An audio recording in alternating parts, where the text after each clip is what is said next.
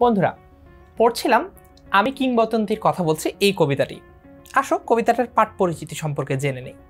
প্রথমেই জানব কবিতাটার উৎস সম্পর্কে। অর্থাৎ কবিতাটা কোথা থেকে সংগ্রহ করা হয়েছে। চমৎকার ব্যাপার হচ্ছে, আমি কিংবদন্তির কথা বলছি এই কবিতাটা যে কাব্যগ্রন্থ থেকে সংগ্রহ করা হয়েছে, সেই কাব্যগ্রন্থের নামও আমি কিংবদন্তির কথা বলছি। অর্থাৎ এই কাব্যগ্রন্থের মূল কবিতাই হচ্ছে এটি।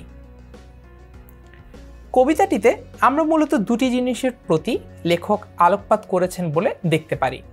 একটি হচ্ছে, তিনি শেকড়ের সন্ধান করেছেন, অর্থাৎ নিজের অতীত ইতিহাসকে জানান এবং জানানোর চেষ্টা করেছেন। আরেকটি হচ্ছে, জীবন সংগ্রামের কথা তিনি তুলে ধরেছেন। আসো তাহলে সংক্ষেপে আলোচনা করা যাক। কবি আমি কিংবদন্তির কথা বলছি, এই কবিতাটিতে শিকড়ের সন্ধান কীভাবে করেছেন? তিনি আবহমান বাংলার জীবন ধরন বা জীবনাচরণ নিয়ে কথা বলেছেন।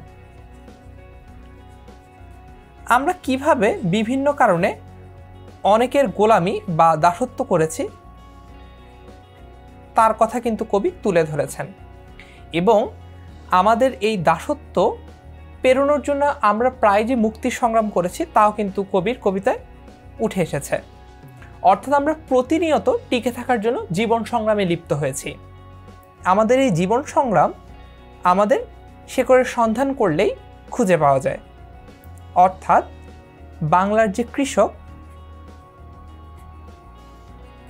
বাংলার যে শ্রমিক তারা প্রতিনিয়তই শাসকের কাছে শোষিত হয়েছে। তাদের শ্রমের বিনিময়ে তারা কিছুই পায়নি। তাদের অধিকার থেকে তারা সবসময় বঞ্চিত হয়েছে, বৈষম্যের শিকার হয়েছে। এমনটাই কবি এই কবিতায় তুলে ধরতে চেয়েছেন। আর বাকিটা বিস্তারিত আমরা জানব পরবর্তী ভিডিওগুলোতে। দেখা হচ্ছে তাহলে। And till then never stop learning